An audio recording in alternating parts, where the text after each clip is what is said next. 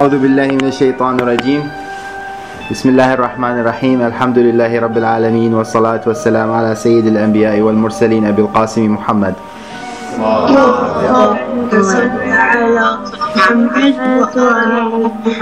وعلى أهل بيته الطيبين الطاهرين لا سيما بقية الله في الأراضين روح وأرواح العالمين لتراب مقدمه الفداء.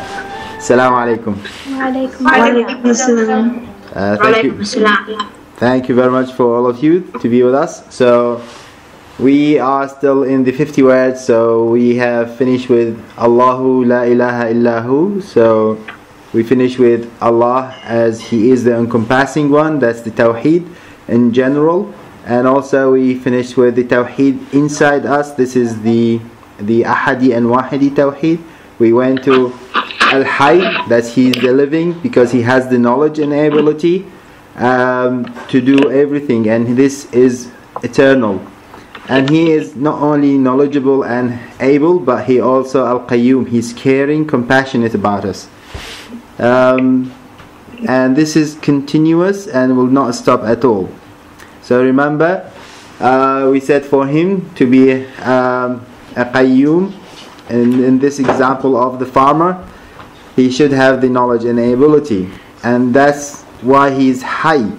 And this is a condition for him to be a qayyum, because for the Hayy um, to look after uh, everything else, he has to be caring and uh, to look after them. And that's not enough. He should be also persisting in doing that. So he should love to do that. And it's not only that also part of his qayyumiyya he should be just. So he should give everybody according to how much they do and how and what's their uh, position in this system. And he should be very fair in doing this and very considerate so he doesn't overdo and uh, underdo things. And with that he is not biased at all. He does not damage his system at all. So he he can he continue to work the system uh, without any bias in that um, he does not um, get tired so um, he cannot actually when he drives this system go for for a nap and also he will not sleep at all and that's why we said الله لا إله إلا هو الحي القيوم لا تأخذه سنة ولا نوم no slumber can seize him nor sleep so we will continue from here uh, له ما في السماوات وما في الأرض to him belongs all that is in heaven and the earth to understand this in a better way, um, we will take a few concepts and then we sum them all together. So the first one, the, con- the concept of ownership, very important concept. I want to start with this. Uh, yeah. Okay. So the first concept is the concept of ownership. There are two types of ownership. One is the real ownership, which is the permanent ownership. The one, the other one is an ownership by agreement. What's the difference between the two? So just imagine you have this beautiful car, right? Now, is this car really yours?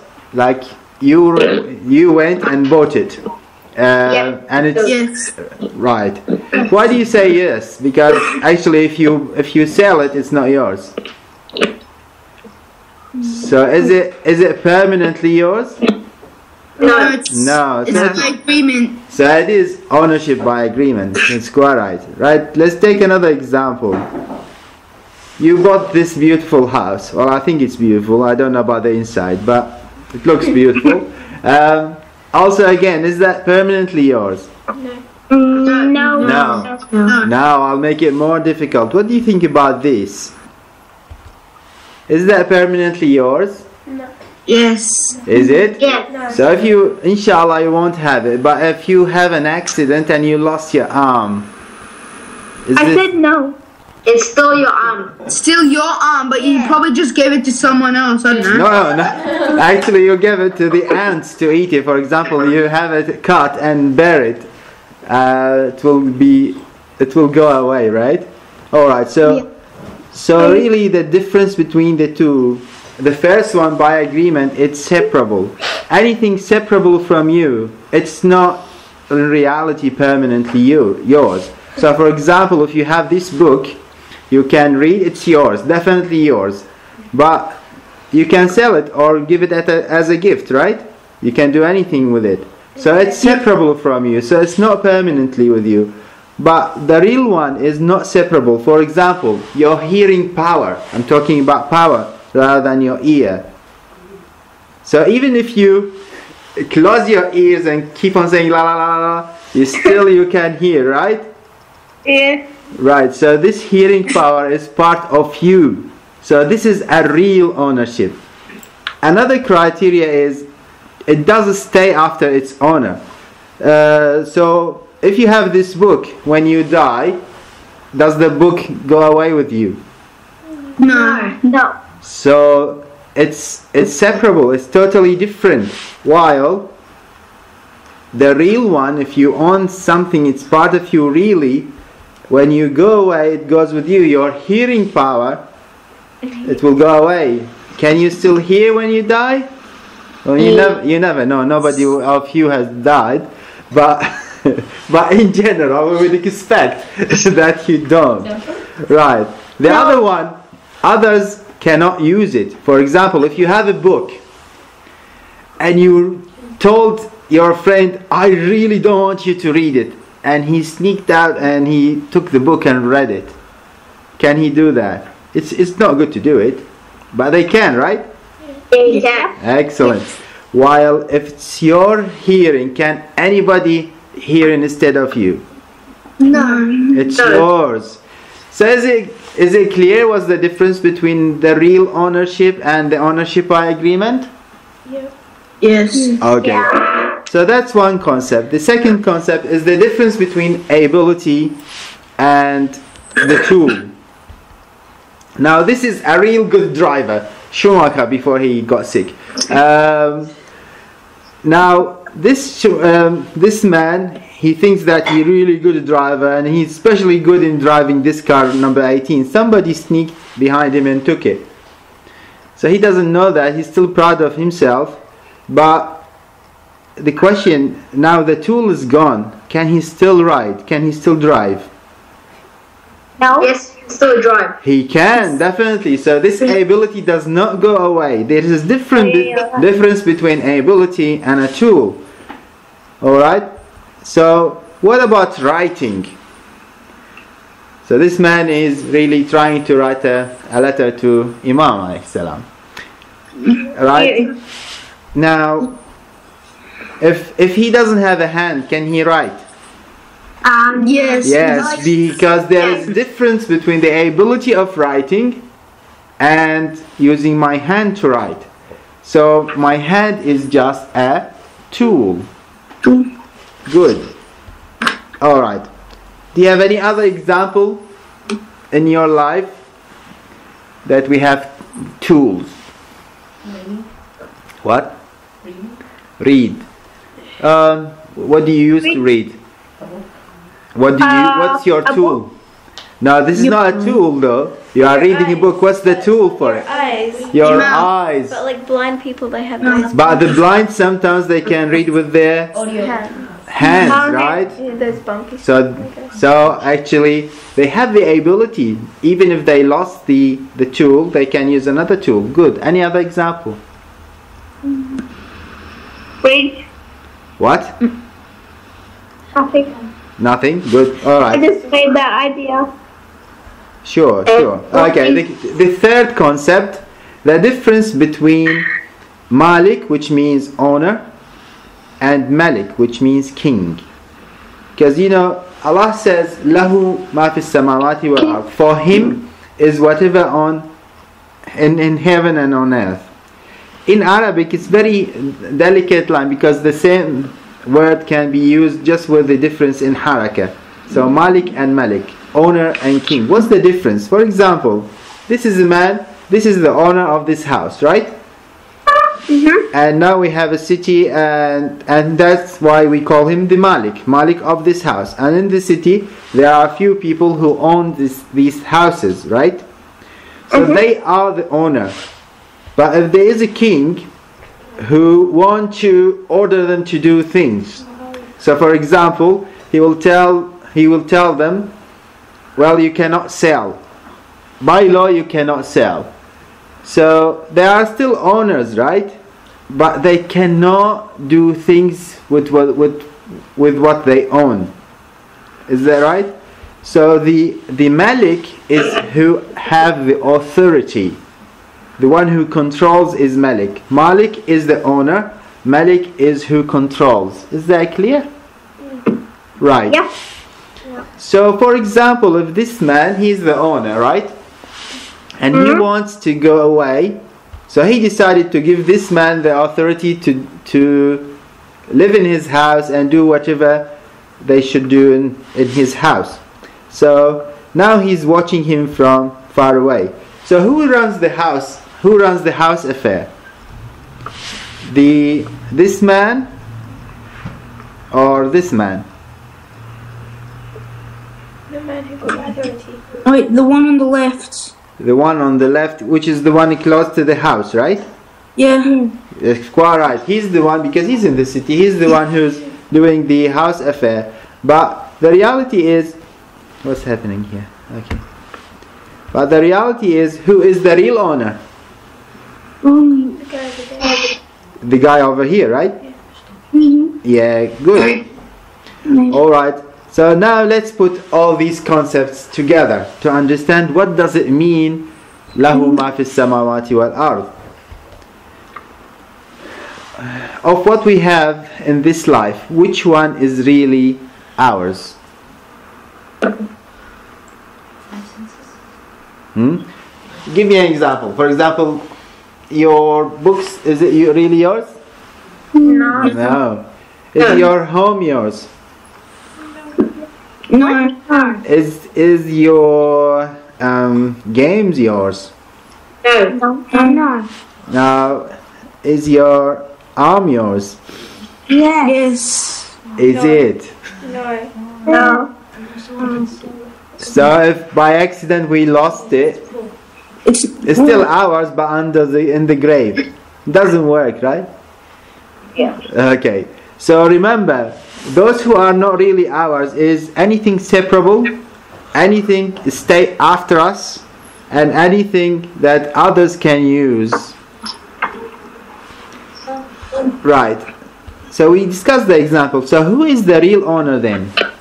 What are the oh. criteria for the real owner? Allah.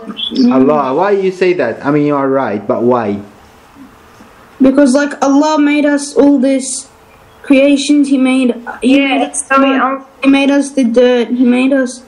You know the seeds, the bacteria. And he gave us the knowledge to make the other things. Right. But the He does, question he does the exact opposite of everything you just mentioned before. Well done, Zaid. That's the main thing. That everything for him, because he does not disappear and he is eternal, so nothing will be separable from him. Because he's everywhere. Where would you separate it to? And because he's everywhere and he's eternally there, nothing will stay after him. So he is the only real owner. And Allah subhanahu wa ta'ala is the real owner. I hope by this you understood now what does it mean that he is Malik, that means owner, and he is Malik. He is the one which controls everything. Um, so how would knowing this help? I mean, this is you may say, oh well, this is just sort of interesting knowledge. Well, or not interesting. I don't know whether you ha- uh, got you interested or not. But how does that help us in our daily life? That's the main thing. Let's take practical applications now. The first one. Imagine that there is such a beautiful beach, and this beach is full with gemstones and all very expensive ones. And you have these two kids, they decided to go there and collect, and they are playing with it. But then the owner came, and the owner told them, Look, you have the whole day, you can collect whatever you like. At the end of the day, when you leave, you'll give me everything. It's a bit boring to collect, isn't it? Right? But then they said he gave them another condition. With you, as you came as a group, there's somebody who is crippled, he cannot do much. And there's another one who is really sad and not able to collect. If you do give them At the end of the day, whatever you gave them, I will give you like it. What would you do in this in this day? You have from morning to sunset. What, what, what are you going to do? So actually, you will run to collect for others rather for yourself because that's the only way to win, isn't it? This is a practical application because Allah has it's all He is the only owner. He told us, whatever you have in this life, I will get back from you. When you die, do you take anything with you?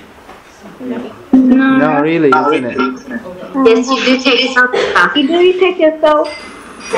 Yeah, that's right. You take yourself, but do you take anything from this life with you? No. So, what what do you take?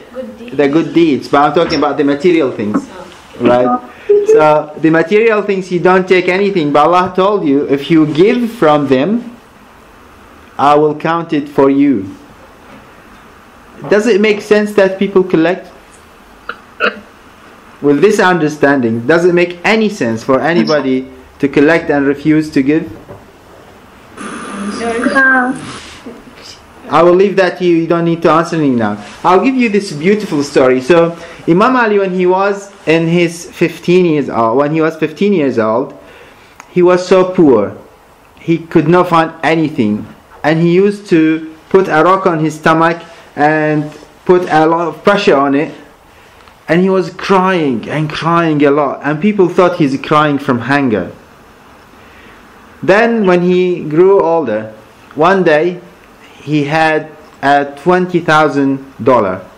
Uh, well, not a dollar. Um, twenty thousand dinar, uh, dirham, whatever. Some twenty thousand something coin, right? Uh, golden coin, and he was so happy, and people could not understand because this pious Imam Ali that he doesn't care about life. How come suddenly he fell to this temptation of twenty thousand? So they did ask him, he said, No, when I was 15, I was crying because I could not build anything in my akhirah. I have no money to give.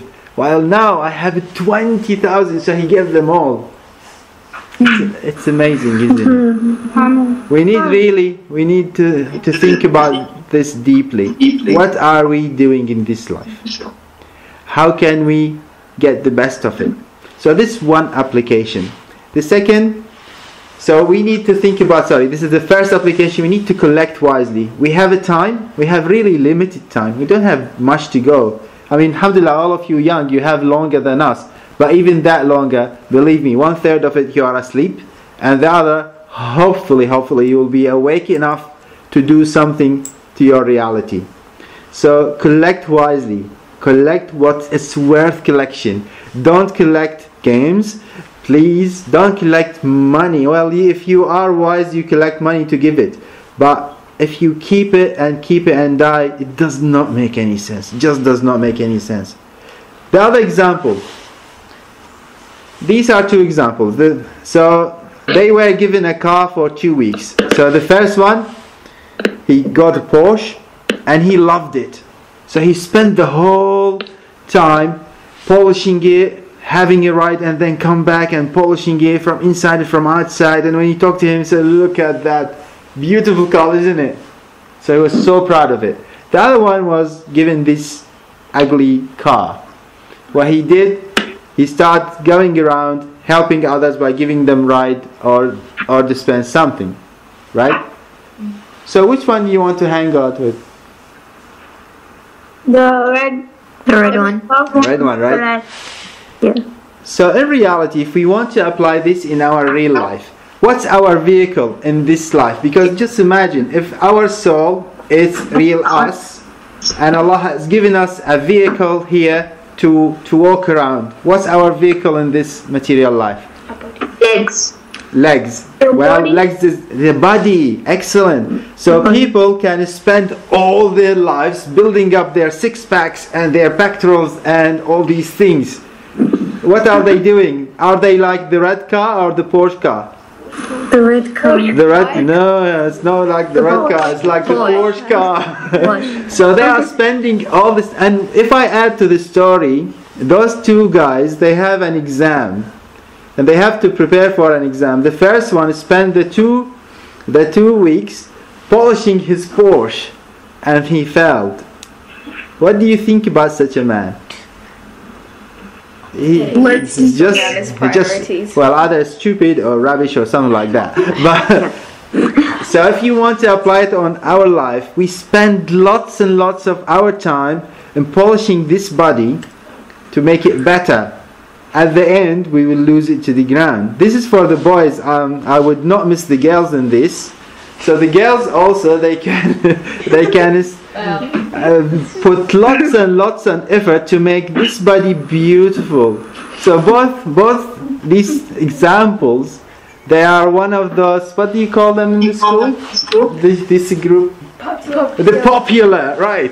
So so they try to be in the popular well some of the popular are good. We have disagreement here but well let's say the bad popular so they want to be popular and i want to be with the popular i spend all my time to be nice but but i ask you um, um, give me the reality do you really like to walk with the bad popular are you so much interested in walking with somebody who's who looks beautiful but empty from inside there's No. there's no fun in that isn't it No. Right. No. So this is another application. Let me think about what i should do. I'll take you a step further. I'll talk about somebody i know who actually he had a car accident and he had a, a brain injury with that. And with that brain injury he lost lots of his memory. So he thought that part of you know each one of us will read and study and do all these things and we think this is part of us because now this is part of of my knowledge so it's part of me but believe me when you have a car accident you will lose memory so it's frightening because even even what I thought is mine, it can be not mine. Who is the real owner of my mind then? What do you think? Even the mind sometimes could be not mine. How can I transfer transform something in this life from being not mine to being mine? How can I make it part of me? When this man has the car accident, all what's left for him it's what became a trait. For example, if he was really generous before the accident, when he had the accident and he lost the memory, he did not lose his generosity. So only things that he transformed to be part of him. So let's let's take this example seriously because if we grow older and mashallah in these western countries people do grow older and they then lose their cognition they cannot understand they go demented and those demented people only only what became part of them will stay.